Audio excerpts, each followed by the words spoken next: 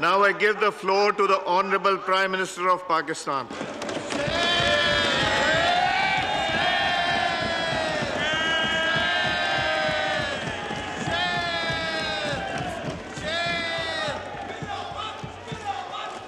बस बस हो, हो गया काफी हो गया अभी बहुत मौके आएंगे प्लीज बिस्मिल्लाहिर्रहमानिर्रहीम जनाब स्पीकर अल्लाह ताला के लिए तमाम हमदोसना और तारीफ़ है। अल्लाह ताला का बेपाया फजल करम है और उसका जितना भी हम शुक्र अदा करें कम है कि उसने अपनी कमाल मेहरबानी से और इस ऐवान में फ्रंट बेंचेस पर तशरीफ़ फरमा कायदीन और हमारे तमाम इन साथियों की काविश कमिटमेंट और करोड़ों अवाम लोग पाकिस्तान में, उनकी दुआओं से अल्लाह ताला ने आज पाकिस्तान को बचा लिया है।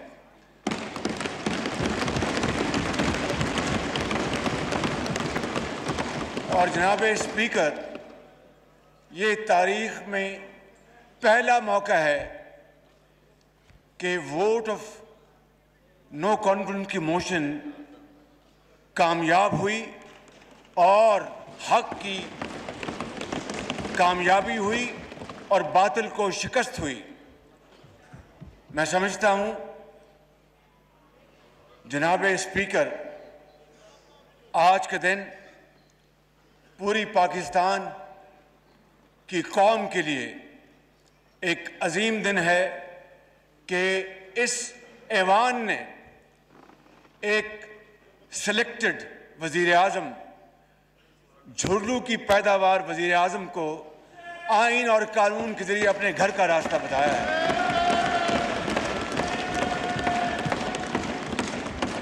और आवाम की ये खुशी का और क्या इसकी मिसाल हो सकती है कि आज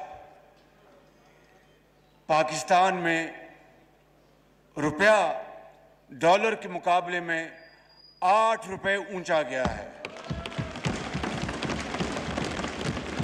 एक सौ नब्बे से वापस एक सौ बयासी पे आया है।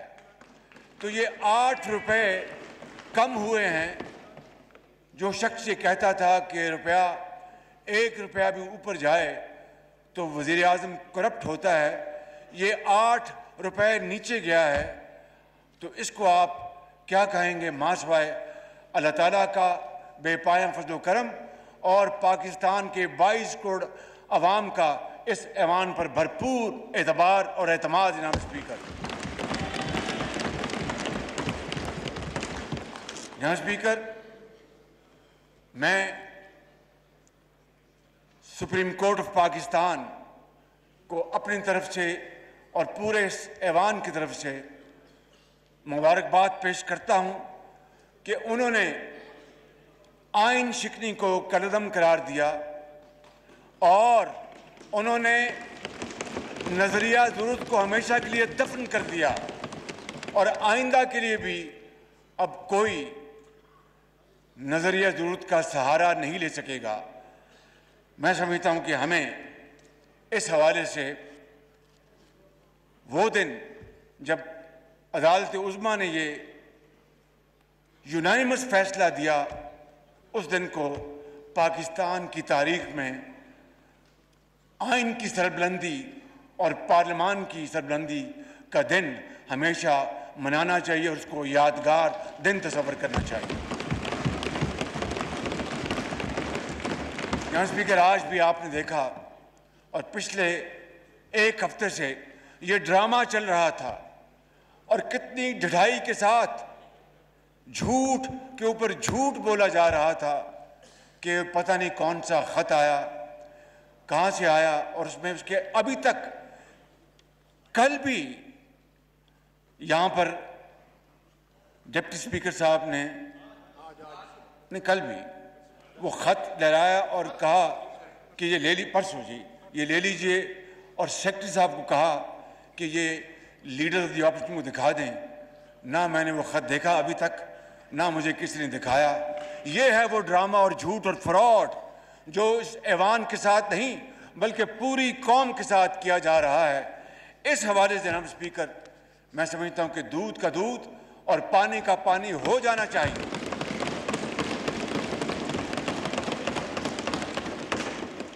मैं ज़्यादा पीछे नहीं जाना चाहता। हकीकत यह है कि मेरी, वैसे तो हम मिलते रहते हैं, लेकिन इस हवाले से पीपल्स पार्टी के जोमा, जनाब आसिफ जरदारी और चेयरमैन बिलावल भुट्टो साहब की मेरी मुलाकात अप्रैल के, मार्च के अवाइल में होती है। ये आठ तारीख का जो फ्रॉड बयान करते हैं, मेरी इनसे मुलाकात तो उससे कई दिन पहले होती है। और हमने आपस में ये तय किया कि हम इन इस बारे में मुशावरत करके फैसला करेंगे कि वोट ऑफ़ नो कॉन्फिडेंस को हम आगे लेके जाएँ। चुनाचे, तीन मार्च को मियाँ नवाज़ शरीफ मेरे कायद ने मुस्लिम लीग नून की सेंट्रल एग्जीक्यूटिव कमेटी की मीटिंग की।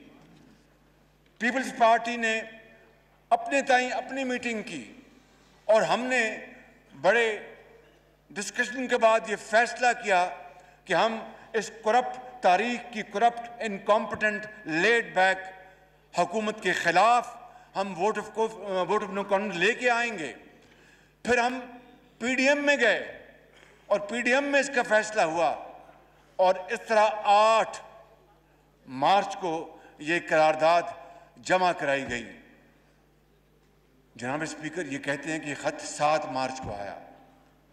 जिस तरह मैंने हकायक बताए हैं कि हमारी मीटिंग्स उससे कई दिन पहले हुई और हमारे फैसले उस दिन कई दिन पहले हो चुके थे, मैं समझता हूँ कि मैं इस बात की मजीद तह में नहीं जाना चाहता। कौम को, पूरे पाकिस्तान के 22 करोड़ आवाम को इस बात का हक हासिल है इस पार्लियामान के ऑनरेबल मेंबर्स के एक एक मेंबर को इस बात का पूरा हक हासिल है कि वो जानना चाहते हैं कि ये हकीकत है क्या?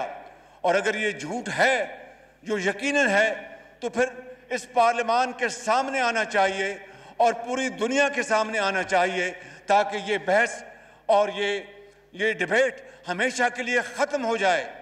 इसलिए मैं आज आपकी तोसत से इस पार्लियामान की खदमत में ये अर्ज़ करना चाहता हूँ कि मैं बतौर मंतखब वज़ी अजम के पार्लियामान की जो सिक्योरिटी कमेटी है, वहाँ पे इन कैमरा, इसके ऊपर कमेटी के ऑनरेबल मेंबर्स को पूरी ब्रीफिंग दी जाए, जिसमें मुसल्ला अफवाज के तमाम सरबरा मौजूद हों, जिसमें D G I S I हो जिसमें हमारे फॉरेन सेक्रेटरी हों और जिसमें वो सफ़ीर हों, जिन्होंने ये ख़त लिखा और उसके बाद ब्रसल्स उसकी ट्रांसफ़र हो गई। मैं समझता हूँ कि हमें फिलफौर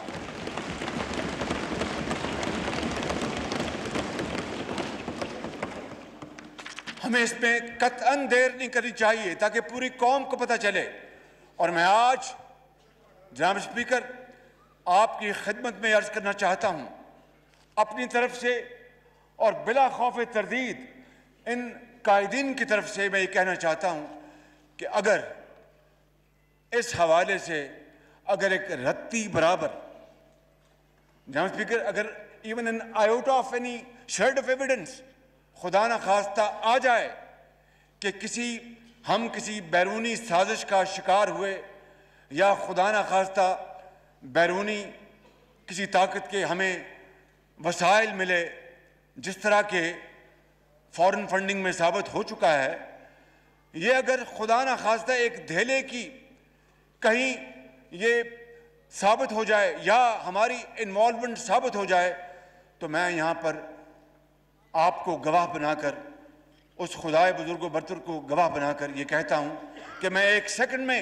वजारत उजमा से इस्तीफा देकर घर चला जाऊँगा, जनाब स्पीकर।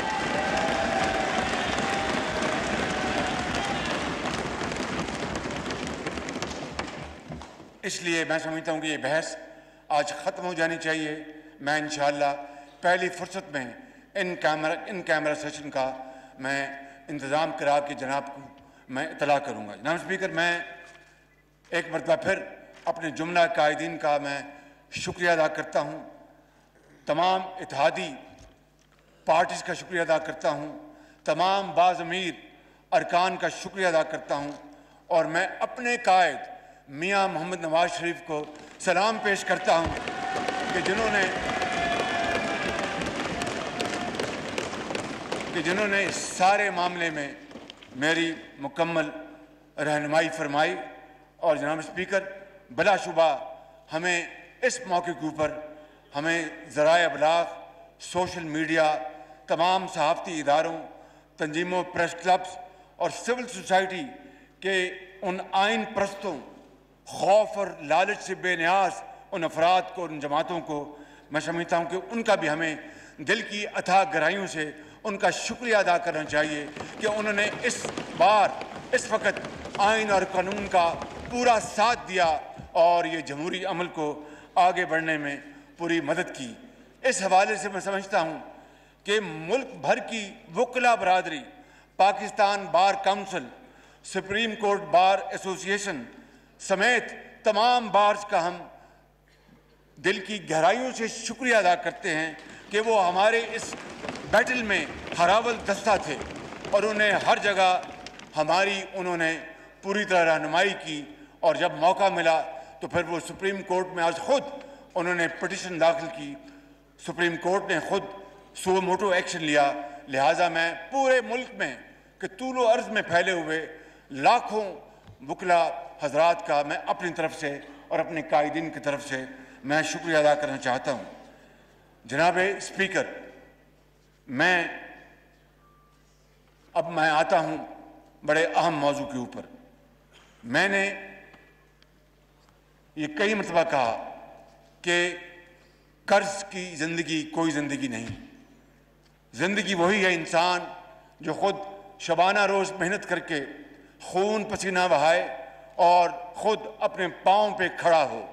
यही पैगाम अल्लाह ताला ने हमें कुरान करीम में दिया। यही सबक हमें नबी करीम सल्लल्लाहु अलैहि वसल्लम ने उस वह हसना से हमें दिया और यही कायद और इकबाल का पैगाम है। इसके अलावा कोई सर उठा के गलियों और महलों में चल नहीं सकता। अगर हमने ज़िंदा रहना है तो एक बावकार और ख़ुद मुख्तार कौम की तरह रहना है। उसके बगैर इसके बगैर हम अपना खोया हुआ मुकाम हासिल नहीं कर सकते।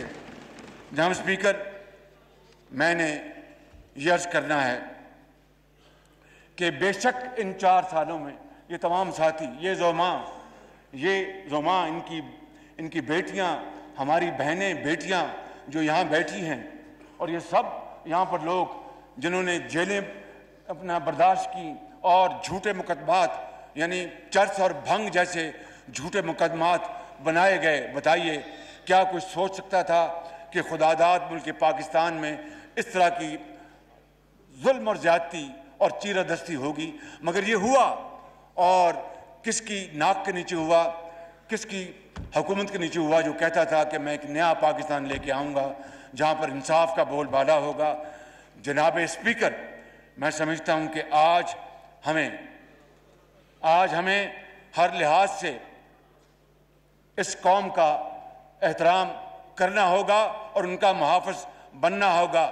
ना कोई गद्दार है और ना कोई गद्दार था, जनाब स्पीकर।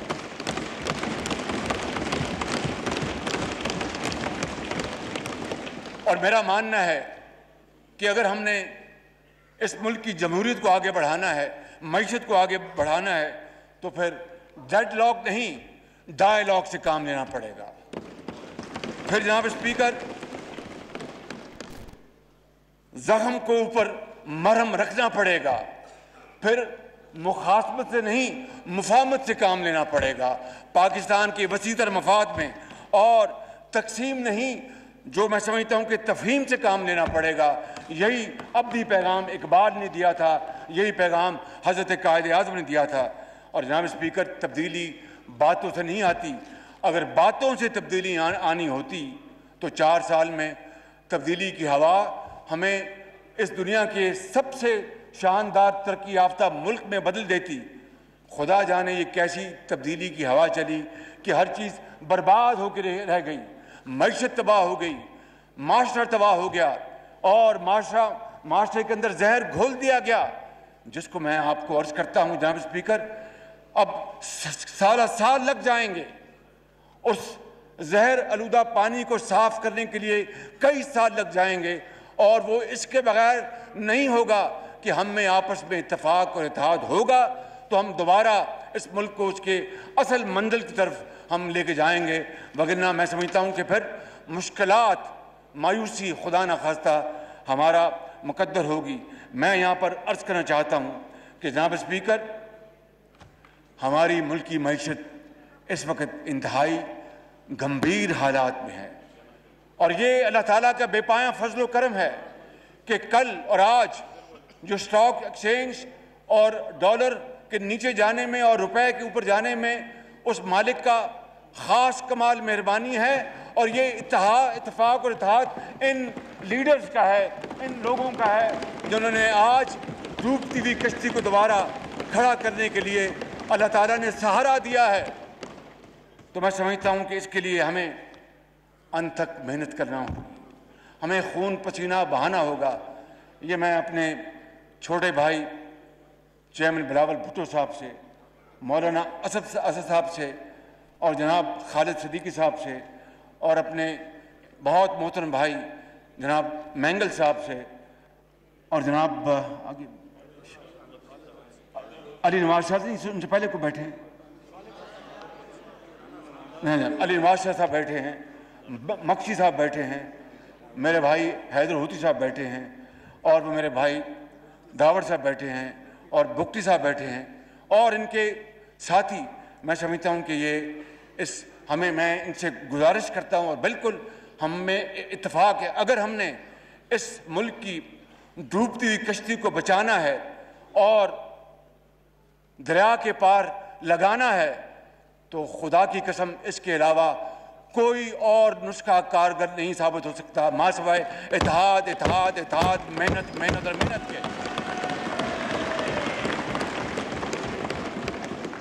और इसके लिए हम सब अल्लाह ताला बड़ा बोलना बुलवाए, इंतहाई आज ही से उसके हजूर दुआ करते हैं कि वो हमें हिम्मत दे कि हम कोई कसर उठा ना रखें। और इन ये हालत, सूरत हाल बहुत ख़राब है, लेकिन उस मालिक ने चाहा तो अनथक मेहनत से ये सूरत हाल ज़रूर बदलेगी। क्यों?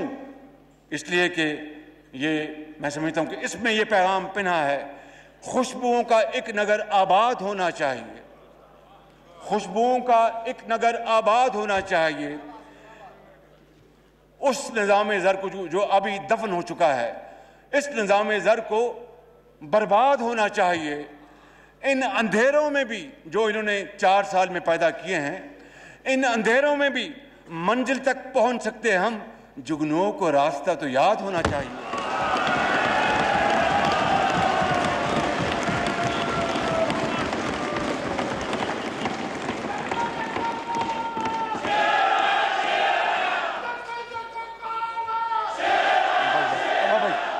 भाई बस भाई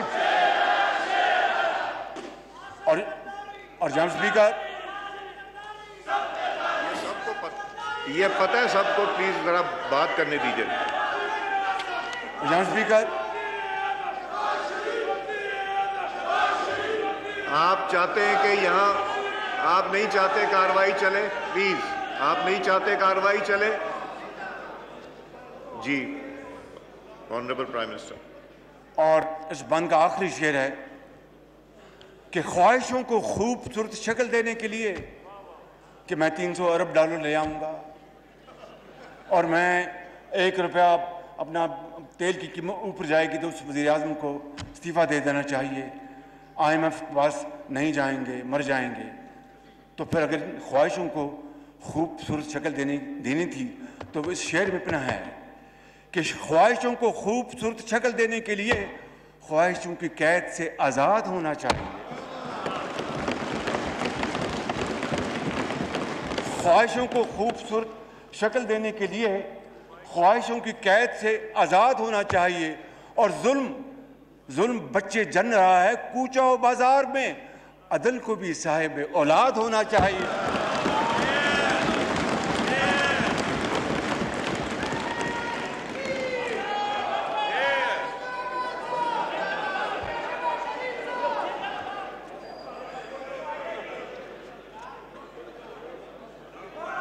जी क्या फरमाया आपने? आपने कुछ फरमाया आपने? जी। आपने कुछ फरमाया आपने? नहीं नहीं अच्छा। आप बात कीजिए। जहाँ स्पीकर आपको याद है कि इसी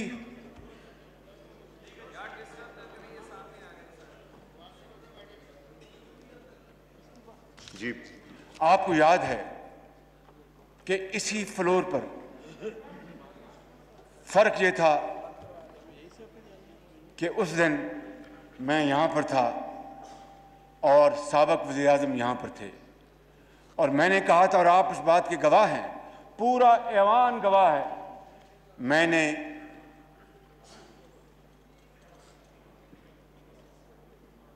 जी प्लीज़ जी मैंने मिसा के मस्जिद की पेशकश की थी। बड़ी सोच समझ के। मगर उसका जो हशर हुआ जनाब स्पीकर, मैं उसके बारे में कुछ नहीं कहना चाहता। और मैं ये कहना चाहता हूँ कि अगर उसको पाया हकारत से ना ठुकराया जाता तो आज पाकिस्तान की मीशत का इतना बुरा हाल ना होता। और फिर उससे अगले साल फिर मैंने दोबारा मिसाक मीशत की पेशकश की, उसका भी हशर नशर वही हुआ जो मैंने एक साल पहले किया था। और जनाब स्पीकर मैं आपको बला खौफ तरदीद कहना चाहता हूँ। जो कहते हैं कि ज़रा नम हो तो ये मट्टी बड़ी सर, जरखेज साकी। अगर इनमें जज्बा होता, अगर इनमें पाकिस्तानियत का जोश होता, और अगर ये जोम में और अपने एक एरोगेंस में ना होते तो उस पेशकश को कबूल करते तो आज क्रेडिट इनको मिलता, पाकिस्तान आगे जा रहा होता, और आज लाखों लोग आज बेरोजगारी के कुएँ में धकेले ना जा रहे होते। बहरहाल वो जनाब स्पीकर वक्त गुजर गया, मगर मैं आज आपको ये बताना चाहता हूँ कि इस वक्त पाकिस्तान किन हालात से दो चार है। जनाब स्पीकर दिल पर आप दिल थाम लीजिएगा, क्योंकि ये फैक्ट्स हैं, मैं इनको नहीं छुपा सकता। कौम को ये फैक्ट्स मुझे आज बताने हैं। पाकिस्तान बदकिस्मती से रवा माली साल में तारीख का सबसे बड़ा बजट खसारा करने जा रहा है, बजट डेफिसिट अंदाज़ा कीजिए, चौहत्तर साल तारीख में सबसे बड़ा बजट डेफिसिट होने वाला है। तारीख का सबसे बड़ा तजारती खसारा, यानी ट्रेड डेफिसिट होने वाला है। और जो करंट अकाउंट जिसको जारी खातों को उर्दू में कहते हैं, बदकिस्मती से करंट अकाउंट डेफिसिट भी तारीख का सबसे बड़ा खुदा न खास्ता होने जाने, होने जा रहा है। महँगाई अपने अरूज पर है। साठ लाख लोग बेरोजगार हो चुके हैं। और दो करोड़ लोग खत अफलास से नीचे धकेले जा चुके हैं और एक करोड़ पैंतीस लाख जिन उस नौ मुंतब वजी अजम शहबाज शरीफ कौमी असम्बली से खिताब कर रहे हैं। तेईसवें वजी अजम पाकिस्तान इस वक्त कौमी असम्बली से मुखातिब है। यहाँ पर लाखों करोड़ों बच्चे भूख रोटी के बगैर सोते थे। ये किस तरह रात को सोते थे? किस तरह इनको इनका जमीर इनको इजाज़त देता था? इनका जमीर इनको इजाज़त देता था। जी?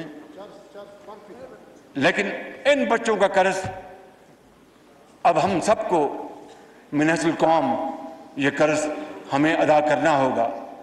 पौने चार साल में जो अशिया की कीमतें यहाँ पहुँच गई हैं, कुछ सोच नहीं सकता था। आज एक आम आदमी को अपना जिसम बरकरार रखना मुहाल हो चुका है। जनाब स्पीकर और तारीख के इन पौने चार सालों में जो अभी मैं फ़िक्र दूँगा, पौने चार सालों में जो कर्जे लिए गए हैं, वो होश रुबा है। इंसान दंग नहीं, उसकी अकल मऊफ हो जाती है कि साढ़े तीन साल में इतने खरबों के कर्जे लिए और ईंट एक नहीं लगी। तख्तियाँ के ऊपर तख्तियाँ लगी गई। तख्तियाँ बदली गई, चाहे वो सिंध की वादियाँ हैं या बलूचिस्तान है, या के पी के है, या पंजाब है, अपनी तरफ़ से एक ईंट नहीं लगाई। और जनाब स्पीकर, शहीद लियाकत अली खान से लेकर 2000 2018 में, इकहत्तर साल में मजमू तौर पर पाकिस्तान ने 2018 तक पच्चीस हज़ार अरब रुपए कर्ज लिए थे।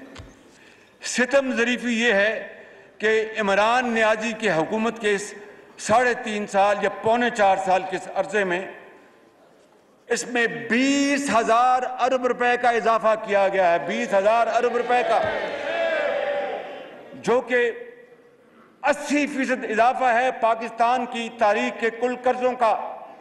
जनाब स्पीकर, दिल दहल जाता है जब इस तरह की तस्वीर कशी होती है।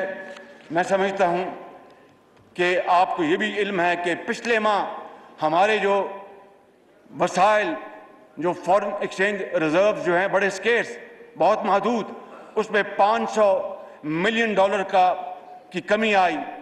और हुकूम इस हुकूमत ने गंदम और यूरिया को समगल करवाया। और किसान बेचारे पूछते यहाँ पर किसान बैठे हैं, वो करोड़ों किसान पाकिस्तान में वो मारे मारे फिरते रहे, उनको खाद नहीं मिली। और उनके जो एजेंट्स थे फ्रंटमैन उनके ज़रिए महँगी तरीन खाद उनको दी गई। तो फिर ये कोई खबर नहीं है कि आज जो पाकिस्तान, खुदादाद मुल्क पाकिस्तान, जो नेट एक्सपोर्टर था, गंदम और चीनी और दूसरे अशा का, आज बदकिस्मती से नेट इम्पोर्टर बन चुका है। आटा पैंतीस से सौ रुपये पहुँच गया। चीनी बावन रुपये 2018 में सौ रुपये पे पहुँच गई। मैं क्या क्या आपको यहाँ पर बात करूँ?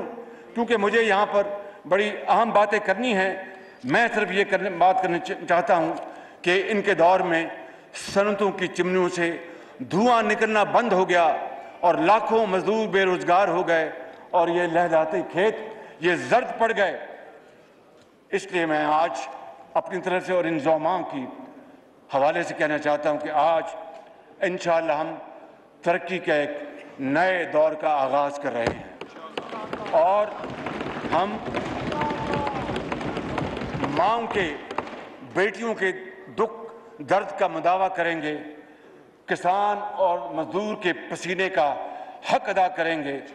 और यही हमें कुरान कुरान करीम ने हुक्म दिया है, जनाब स्पीकर के यतीमों के सरों पर दस्त शफकत रखो और यही हमारे नबी आखरमान अलैहि वसल्लम के उसवा हुस्ना है।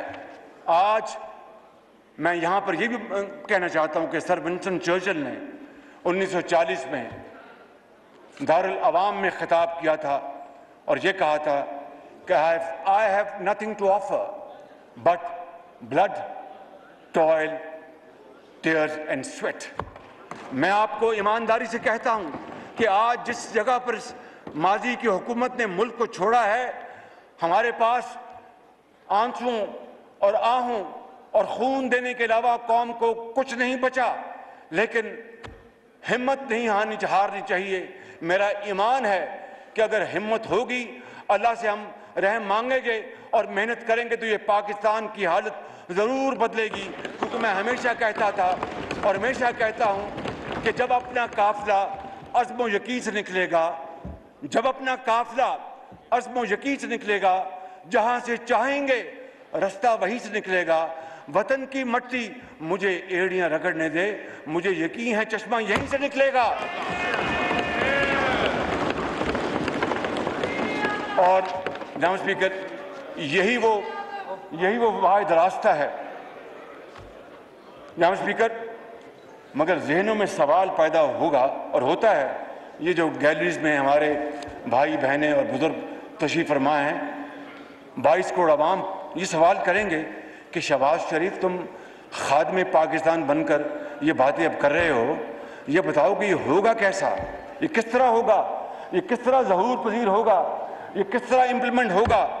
तो उसका मैं बड़े अदब से जाम स्पीकर आपकी खदमत में और आपके तोसत से पाकिस्तान के तूल अर्ज़ में ये गुजारिशात पेश करना चाहता हूँ।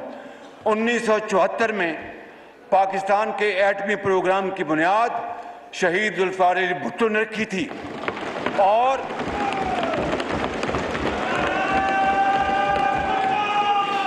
और आप लोग प्लीज़ रिफ्रेन करें एक सीरियस टॉपिक है सीरियस इशू हो रहा है तकरीर कर रहे हैं honourable prime minister Pakistan please अब एक्सेप्ट नहीं होगी आप लोगों के नारेबाजी शुक्रिया। और मियाँ मोहम्मद नवाज़ शरीफ ने तमाम तर दबाव और लालच और तरगीब को बड़े अच्छे अंदाज में एक तरफ़ रखा। ये नहीं कहा एब्सोल्युटली रिजेक्टेड ये नहीं कहा।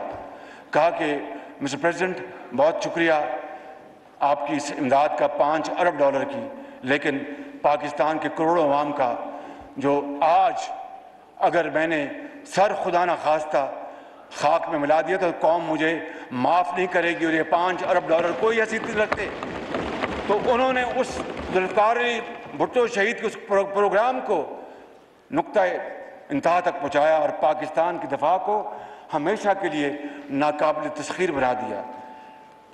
क्या जनाब आसिफ जदारी इनके दौर में सदारत के दौर में क्या तमाम पार्टियों ने मिलकर अठारहवीं तरमीम नहीं की थी। जिससे सूबों को इख्तियार और वसाइल बेपना मिले, क्या हमने मिलकर मुतफ़ा तौर पर एन एफ़ सी अवार्ड नहीं दिया था, जो आज तक भी स्टे ऑर्डर पर चल रहा है? इनको तोफीक नहीं हुई कि एन एफ़ सी अवार्ड जो है नया, वो कौम के सामने ले आते। क्यों? जज्बा नहीं था इतिहाद का, मिल बैठने का रूखी सूखी खाने का, और गिले गुजारे करके हर एक का इंसाफ के साथ हक देने का अगर ये जज्बा होता सादक जज्बा होता तो नया एन एफ़ सी अवार्ड आया होता। तो यह नया, जो last N F C award was drawn in to 2010 and in 2010 2010 में हुआ, जो आज तक चला आ रहा है। तो क्या ये चीज़ अगर हुई तो आज जो तमाम मुश्किल हैं, उसके बावजूद हम आगे नहीं चल सकते। क्या तमाम स्टेक होल्डर्स ने मिलकर नेशनल एक्शन प्लान नहीं बनाया था। क्या पूरी कौम ने और तमाम स्टेक होल्डर मिल के दहशत गर्दी के खिलाफ मुतफ़ा बयानिया नहीं बनाया था क्या हमने मिलकर पूरी कौम के साथ और मशावत के साथ इलेक्शन के इंतबी कवानीन नहीं बनाए थे? क्या हमने सबने मिल के पाकिस्तान में सी पैक के ज़रिए तीस अरब डॉलर की सरमाकारी नहीं की थी? जहाँ स्पीकर अगर ये सब कुछ हुआ है तो फिर ये भी होगा इन ये कौम बनेगी। अजीम कौम बनेगी। बड़ी ताकतवर कौम बनेगी। और हम खड़े होंगे अपने पाँव पे। और जो कहते हैं ना कि बैगर्स कांट बी चूजर्स अपने गरेबानों में झांकें। कि कौमें वही खड़ी होती हैं जो चूजर्स होती हैं। बेकारी को कौन पूछता है? जहाँ स्पीकर मैं आपसे ये बड़े आज के साथ कहना चाहता हूँ कि अगर पहली सफ में ये बैठे, ये लोग, ये कायदीन इकट्ठे हो जाएँ और खुदा के साथ ये वादा कर लें और चल पड़ें तो कोई पहाड़ हमारे रास्ते में मुश्किल नहीं होगा, कोई समंदर हमारे रास्ते में मुश्किल नहीं होगा। जहाँ स्पीकर, आपको पता है कि बिजली के कारखाने पिछले दौर में बने और अंधेरे ख़त्म हो गए। छः इशारिया एक फ़ीसद हमारी इकॉनमी जा पहुँची थी। और पहली बीस एमर्जिंग इकॉनमी में पाकिस्तान का नाम शामिल हुआ था। आईएमएफ का प्रोग्राम किया गया और मुकम्मल हुआ और फिर 2018 में हम जो पाकिस्तान छोड़ गए थे, उसको चीनी भी एक्सपोर्ट होती थी, गंदम भी एक्सपोर्ट होती थी। आज we have become net importers जनाब स्पीकर और इसके अलावा बेशुमार मैं आपका इस हाउस का वक्त नहीं लेना चाहता, लेकिन ये कहना चाहता हूँ कि हस्पतालों में गरीब लोगों के लिए मुफ़्त इलाज और अद्वियात नवाज़ शरीफ के दौर में शुरू की गई और लाखों बच्चों और बच्चियों को जो यतीम बच्चे और महरूमुल मीशत बच्चे जिनके सरों पर कोई दस्ते शफकत देने वाला नहीं था, लाखों ऐसे बच्चों और बच्चियों को तूल अर्ज़ में पाकिस्तान के उनको तालीमी वज़ाइफ दिए गए, यूनिवर्सिटियाँ बनाई गई और अस्पताल बनाए गए। मैं एक मिसाल देता हूँ, ये P K L I Pakistan kidney and liver institute, इसका जो हशर नशर किया गया है। खौफ आता है, खौफ। This was moving towards becoming John Hopkin of Pakistan हर हर हवाले से in every sense of the world चाहे वो वहाँ पर बाहर से एक्सपर्ट्स डॉक्टर्स सर्जन्स फिजिशियंस उसकी वहाँ पर इक्विपमेंट पैरामेडिक्स किस किस चीज़ का मैं नाम लूँ और उसके बाद सिर्फ़ इसलिए कि ये नवाज़ शरीफ के दौर में बना था, उसको बर्बाद कर दिया गया। और फ़र्स्ट टाइम पाकिस्तान के अंदर ये जिगर का वहाँ पर ट्रांसप्लांट शुरू हुआ। हिंदुस्तान हम भेजते हैं जिगर के ट्रांसप्लांट के लिए और 50-50 लाख रुपए देते हैं। वो अरबों रुपए बच सकते थे। जनाब स्पीकर, मैं क्या आपको बताऊँ और क्या ना बताऊँ, दिल बहुत दुखी है, बहुत परेशान है, लेकिन हिम्मत हारने का सवाल नहीं पैदा होता। हम उठेंगे और उठेंगे और उठेंगे और पाकिस्तान को बनाएँगे यहाँ स्पीकर, महँगाई के इस दौर में और तकालीफ के इस दौर में शायद रातों रात तो Rome was not built overnight मगर हिम्मत करेंगे और आगे बढ़ेंगे इन अल्लाह ताला मदद फरमाएँगे। मैं यहाँ पर सिर्फ़ इस वक्त गरीब आदमी परेशान और बर्बाद हो चुका, मैं उनकी कुछ अशकशोई के लिए अपने तमाम इस कोलिशन गवर्नमेंट की तरफ़ से मैं ये कहना चाहता हूँ कि कम से कम माहाना उजरत बढ़ाकर पच्चीस हज़ार रुपये हम कर रहे हैं। और और सूबों के तावन से आइंदा चंद रोज़ में इस सिलसिले में बाबा हम ज़रूरी का, कानूनी कार्रवाई भी करेंगे इंशाल्लाह। और इसका इसका इतलाक इसका इतलाक इसी पहली अप्रैल से होगा जो गुजर गया है इसी महीने से होगा इसका इतलाक इंशाल्लाह। और मुझे उम्मीद है कि तनख्वाहदार तबके के मुश्किल का अंदाज़ा हमारा सरमाकार अल्लाह उनको और हिम्मत दे कि पाकिस्तान में सरमाया लगाएँ। हमारे इन्वेस्टर्स अल्लाह उनको और तोफीक दे कि वो पाकिस्तान में इन्वेस्टमेंट करें।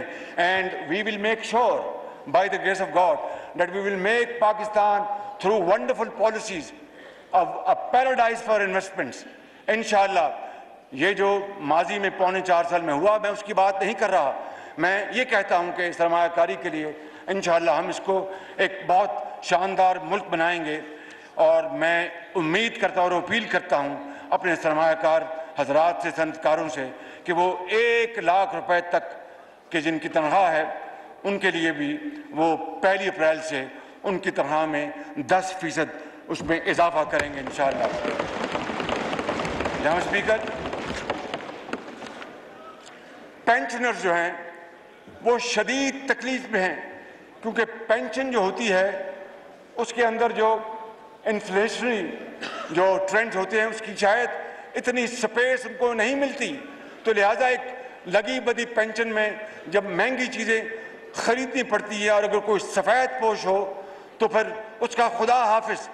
इसलिए हमने ये फैसला किया है कि पेंशनर्स को इस सबका दौर में नज़रअंदाज किया गया।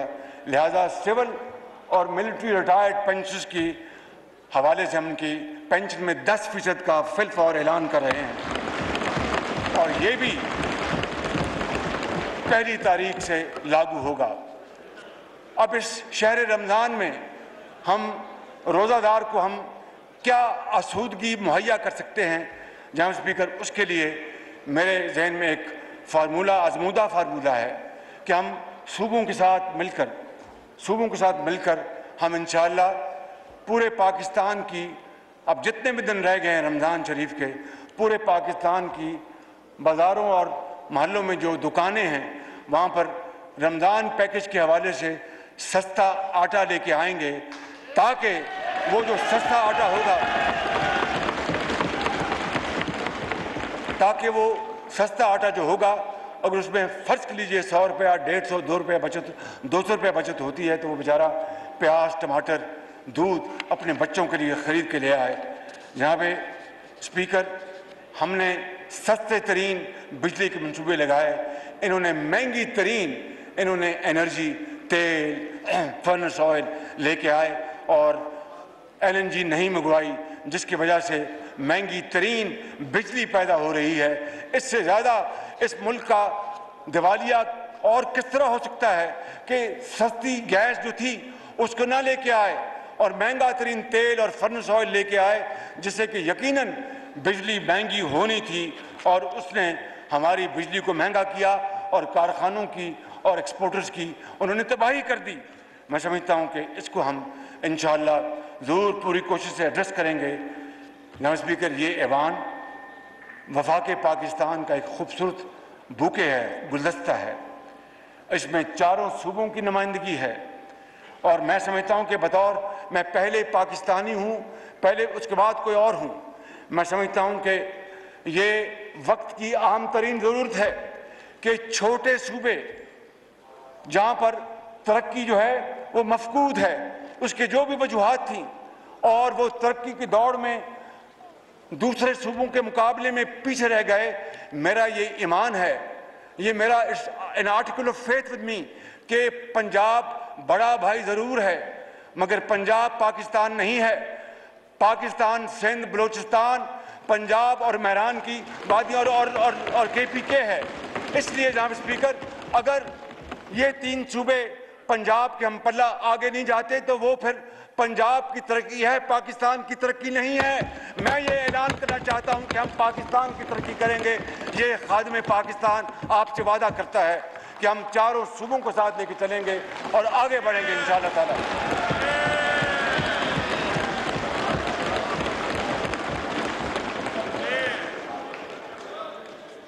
स्पीकर। सबक फाटा के इलाकों समेत बलूचिस्तान और तमाम सूबों के मसाइल और महरूमियों का मैंने ज़िक्र किया है और इन नौजवान नस्ल को इन हम उनके हाथों में हम क्लाशनकोफ या खुदा न खास्ता, अफ्यून या कोई और नहीं देंगे। उनको मज़ीद लैपटॉप देंगे, उनको हुनर देंगे, उनको तालीम देंगे, उनको टेक्निकल एजुकेशन देंगे ताकि वो पाकिस्तान के वो अजीम मेमार बन सकें। और मैं अर्ज़ करना चाहता हूँ कि इन हम बेनज़ीर कार्ड को दोबारा लेके आएँगे और इस मुल्क के अंदर हम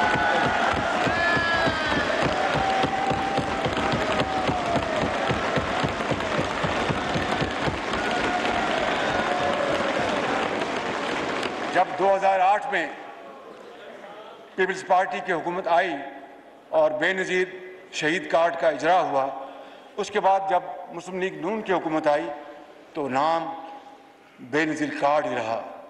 ये शुमी किस्मत ये कौमी इबादत की एक मिसाल है। भाई, अगर किसी ने एक प्रोग्राम शुरू किया, वो अल्लाह ताला को प्यारी हो गई, अपने खून दे गई इस वतन के लिए तो अगर उसकी यादगार के लिए उस कार्ड का नाम वही रहता तो उसमें क्या बात थी? मगर इसके लिए बड़ा दिल चाहिए। इसके लिए लार्ज हार्टनेस चाहिए। इसके लिए जनरोसिटी चाहिए। You have to be generous तो जनाब स्पीकर और फिर इन इस प्रोग्राम को बेनज़ीर प्रो, कार्ड प्रोग्राम को हम इन मज़ीद वसत देंगे और उसको तालीम के साथ मुंसलिक करेंगे ताकि जिनको स्टाइपेंड मिलता है जिन लाखों करोड़ों बच्चों और बच्चों को को ये स्टाइपेंड मिलता है उनके बच्चे स्कूलों में जाएँ। वगरना अगर हमने उनको ना इस इसकी तरगीब दी तो then we will be raising an army of beggars no we need great people, great men, great girls, and great boys who should be, not, who should be uh, I mean, equipped with knowledge and who should become great Pakistanis to serve this country with modern knowledge and techniques. तो मैं समझता हूँ कि इस programme को इंशाल्लाह हम मशावरत के साथ आगे बढ़ाएंगे और मैं समझता हूँ कि एक ये एक सदका जारिया है। जहाँ स्पीकर खारजा महाज पे हमें बदकस्मती से पे दर पे हमें अगर मैं मेरा आखिरी हिस्सा है अगर नमाज़ के लिए आप वक्फा कर रहे हैं आज नो। अच्छा ठीक। जी। जी मैं पढ़ के आया था मुझे पता आप तकरीर करना चाहते हैं। दिल खोल के।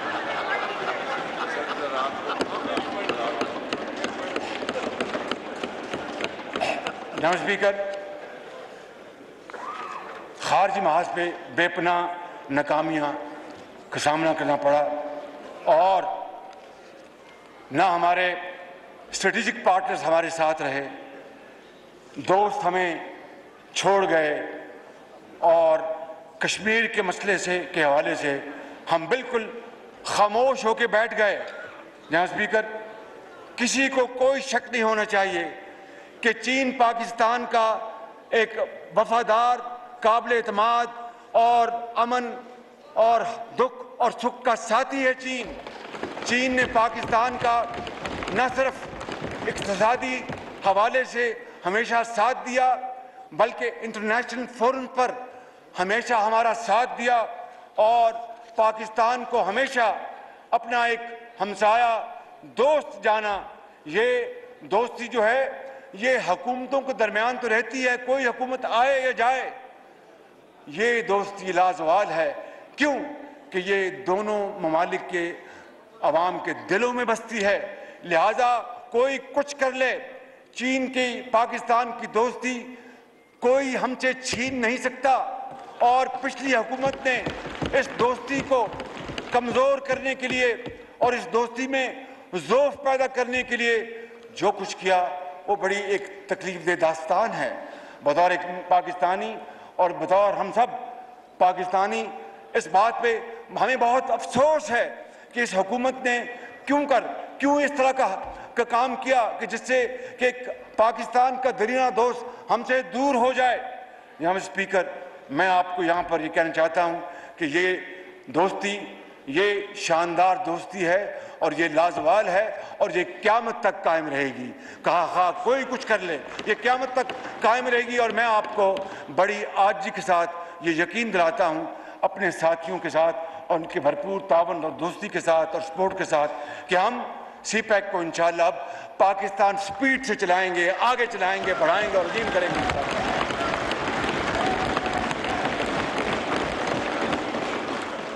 और हम चीनी सदर जनाब शी जिनपिंग और चीनी क्यादत के इंतहाई शुक्रगुजार हैं। यहाँ स्पीकर, सऊदी अरब हमारा एक एक दरीना बरदर मुल्क, इंतहाई शफीक मुल्क है। मैं आपको आज ये बताना चाहता हूँ, जब पाकिस्तान ने हिंदुस्तान के, पाकिस्तान ने हिंदुस्तान के पाँच धमाकों के मुकाबले में छह धमाके करके हिंदुस्तान के दांत खट्टे कर दिए थे। उस वक्त पाकिस्तान के ऊपर पाबंदियाँ लग चुकी थी और मैं वज़ीर आज़म नवाज़ शरीफ के साथ सऊदी अरब में था और उन्होंने कहा कि आप फ़िक्र ना करें। आप इस वक्त मुश्किल में हैं। आपने अपने एटमी धमाका किया अपने दफ़ा के लिए, आप फ़िक्र ना करें। आपकी तेल की ज़रूरियात हम सारा साल पूरा करेंगे। आपको कोई फ़िक्र होने की ज़रूरत नहीं है। ये है वो सऊदी अरेबिया। और उस हवाले से फिर जनाब स्पीकर, वज़ीर खारजा ने जो बयान दिया कि we can negotiate Kashmir problem without Saudi Arabia. कितने दुख की बात कि वो मुल्क जहाँ पर खाना खुदा है, जहाँ पर रोजा रसूल है, जहाँ पर पाकिस्तान नहीं, अरबों मुसलमान दुनिया से वहाँ जाते हैं और खाना खुदा में झुकते हैं और रोजा रसूल पे हाजिरी देते हैं। और वो सऊदी अरब, जिसने हमेशा हमारा साथ दिया, जनाब स्पीकर, उनके बारे में इस तरह की बात करना, ये कुछ सोच नहीं सकता था। लिहाजा मैं समझता हूँ कि हम, हमें उस जुमले के ऊपर बहुत अफसोस है और हम सऊदी अरब की फराग दिलाना, शफीकाना, मोहब्बत, दोस्ती और इमदाद को ज़िंदगी भर नहीं भूलेंगे। हम खादम हरमैन शरफैन, जनाब सलमान बिन अब्दुल अज़ीज़ और वली अहद शहजादा मोहम्मद बिन सलमान आल सऊद के मशहूर हैं और उनका शुक्रिया अदा करते हैं कि वो इस मुश्किल की घड़ी में पाकिस्तान के साथ हमेशा की तरह खड़े रहे। इसी तरह तुर्की के साथ पाकिस्तान के अजीम रिश्ते हैं। लाजवाल रिश्तों में ये दोनों ममालिक जुड़े हैं। और जनाब रजब तैयब अर्दवान की सरबराही में तुर्की ने जो तरक्की की है, वो बेमिसाल है। और तुर्की वो मुल्क है जनाब स्पीकर, जिसने ना आओ देखना ताओ, जब कश्मीर की आज़ादी की बात आई तुर्की सबसे पहले आगे था। और पाकिस्तान के साथ हमेशा खड़ा रहा। मैं समझता हूँ कि हमें अपने बामी ताल्लुकात को और आगे बढ़ाना है। यूएई मतदा अमारात, हमारे हमसाए ममालिक, बहुत हमारे अच्छे, शफीक, हमदर्द दोस्त हमारे ये ममालिक हैं। मैं समझता हूँ कि इन्होंने हमेशा पाकिस्तान का साथ दिया। हम इनके भी बहुत मशहूर हैं। इसी तरह कतर हो, कवैत हो ओमान हो, तमाम खलीजी ममालिक तमाम मशरक़ वस्ती के ममालिक, हमारे उनसे हमेशा अच्छे ताल्लुक रहे और उनको आगे बढ़ाएँगे। ईरान हमारा हमसाया बरदर मुल्क है और ईरान के साथ हमें मज़ीद ताल्लुक को बेहतर उसवार करना है और तजारती ताल्लुक को भी आगे बढ़ाना है। जहाँ स्पीकर, यूरोपियन यूनियन, जहाँ पर हमारा जो पाकिस्तान की जो टेक्सटाइल की एक्सपोर्ट्स हैं 50 percent is ship towards European Union और उसके बारे में उसको मतून करना अपनी ज़ात के लिए जो वज़ी अजम अभी जो इस हाउस से उनको एतमाद, अदम अतमाद के वोट से उनको रुखसत किया गया। उन्होंने क्या बयान दिया? मेरे मुँह में वो अल्फाज नहीं आ सकते कि एक उनका क्या बिगड़ा, उनका क्या बिगड़ेगा? बिगड़ेगा हमारा अपना। कितनी मेहनत से अपना लूम्स में धागा बनता है, कपड़ा बनता है एक्सपोर्ट होता है। तो मैं समझता हूँ कि हमें उनसे भी अच्छे ताल्लुक बनाने हैं और G S G S P plus की तजदीद करानी है नेक्स्ट ईयर मैं समझता हूँ कि इसी तरह जहाँ स्पीकर हमें बरतानिया, जिसके साथ हमारे तारीखी ताल्लुक हैं, और ये हकीकत है कि बरतानिया ने पाकिस्तान के अंदर जमहूरीत को हमेशा सपोर्ट किया। डेफिड उनका जो इदारा है, अरबों डॉलर, अरब पाउंड्स उन्होंने सारा साल में पाकिस्तान के चारों सूबों में तालीम और इलाज के लिए दिए हैं। पाकिस्तान के लाखों लोग वहाँ पर आबाद हैं। So whatever happen London has an impact in in Islamabad and vice versa इसलिए मैं समझता हूँ कि बरतानिया के साथ हमें दो तरफा ताल्लुक को और आगे बढ़ाना है। और जनाब स्पीकर अमेरिका के साथ पाकिस्तान के ताल्लुक तारीखी हैं। इसमें उतार चढ़ाव आते रहे।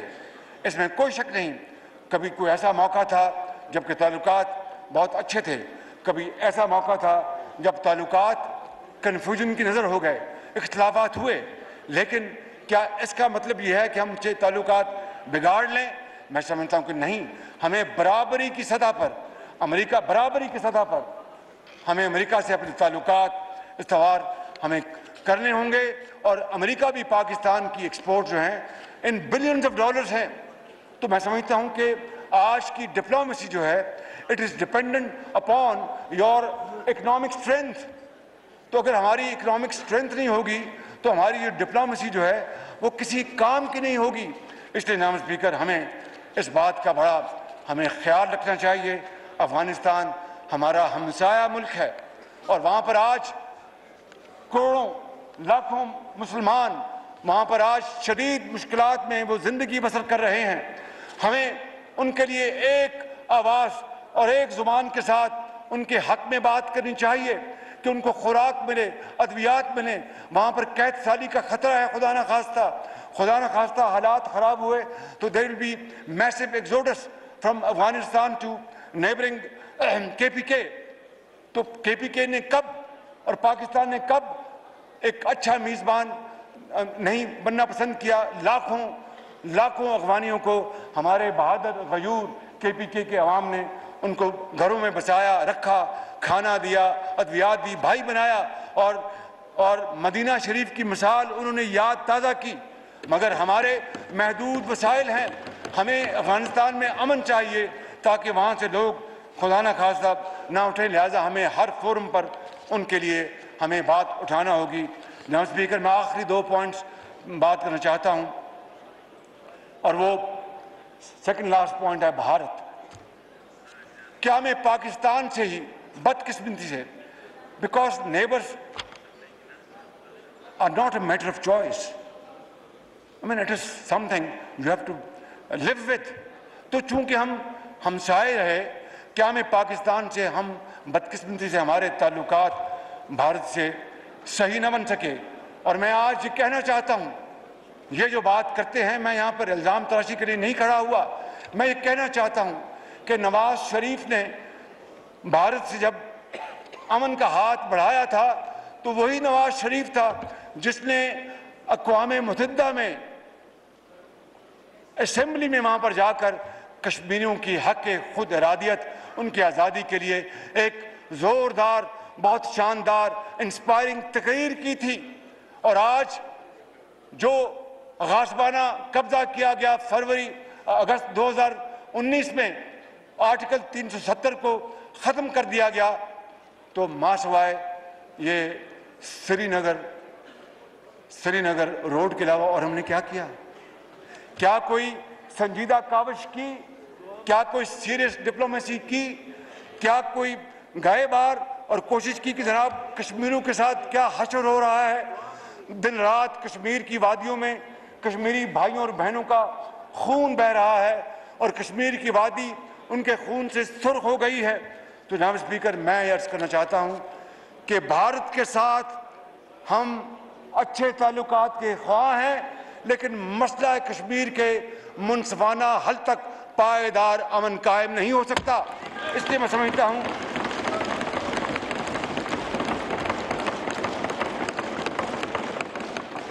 और हम कश्मीरी भाइयों और बहनों के लिए हर फोरम पर आवाज़ उठाएँगे डिप्लोमेटिक एफर्ट्स करेंगे, उनको डिप्लोमेटिक सपोर्ट देंगे मॉरल सपोर्ट देंगे, ये हमारा हक है, वो हमारे भाई हैं। जनाब स्पीकर, काश भारत ये समझ लेता और मैं प्राइम मिनिस्टर मोदी को मैं ये मशवरा दूँगा कि आप समझें कि दोनों अतराफ जो गुर्बत है, जो बेरोजगारी है, जो बीमारी है जो लोगों को दवाई नहीं मिलती, तालीम नहीं है, कारोबार नहीं है, मजदूरी नहीं है, क्यों हम इस तरह अपना और आने वाली नस्लों का नुकसान करना चाहते हैं? आए। कश्मीर का मसला अकवाम मुतहदा की करारदादों और कश्मीरियों की उमंगों के मुताबिक तय करें और दोनों अतराफ इन गुर्बत को ख़त्म करें, गुर्बत को मिटाएँ, रोज़गार पैदा करें, तरक्की दे और खुशहाली लेके आएँ। और इसी तरह जनाब स्पीकर, हम फ़लस्तीन के भाइयों के लिए, हम दिन रात उनकी हक खुद, इरादियत, हक खुद मुख्तारी के लिए हम हम आवाज़ उठाते हैं और उठाते रहेंगे उनके हकूक़ के लिए आवाज़ उठाते रहेंगे। जनाब स्पीकर, मैं आखिर में ये कहना चाहूँगा, पाकिस्तान के मारूजी हालात के पेश नज़र, कौम को तकसीम, दर तकसीम से बचाना आज हमारा फ़र्ज़ है। हमें बिला तखीर कौमी यकजहती की तरफ़ बढ़ना होगा और इख्लाफात की लकीर को ख़त्म करना होगा। और इकबाल ने कहा था, फ़र्द कायम फ़र्द कायम, रबते मिलत से है, तनहा कुछ नहीं। फ़र्द कायम, रबते मिलत से है, तनहा कुछ नहीं। मौज है दरिया में, मौज है दरिया में, बैरून दरिया कुछ नहीं। बैरून दरिया तो झाग हो जाती है, खौफनाक मौज दरिया में होती है। क्यों? यूनिटी जिस तरह ये यूनिटी है, जिस तरह ये यूनिटी है, पूरी कौम की यूनिटी के साथ ये मुमकिन है, इंशाल्लाह ये होगा। जनाब स्पीकर क्योंकि एक मुल्क सेंसस से बन सकता है, मगर कौम कंसेंसस से बनती है। जनाब स्पीकर मुल्क शाहराओं मुल्क शाहराओं से बनता है, मगर कौम नई सोच, नई फ़िक्र और नई राहों से बनता है। मैं इस हवाले से कहूँगा कि जहान ताज़ा की अफकार जहान ताज़ा की अफकार ताज़ा से है नमूद के संग खिच से होते नहीं जहाँ पैदा। कायद आज़म जिंदाबाद, पाकिस्तान जिंदाबाद।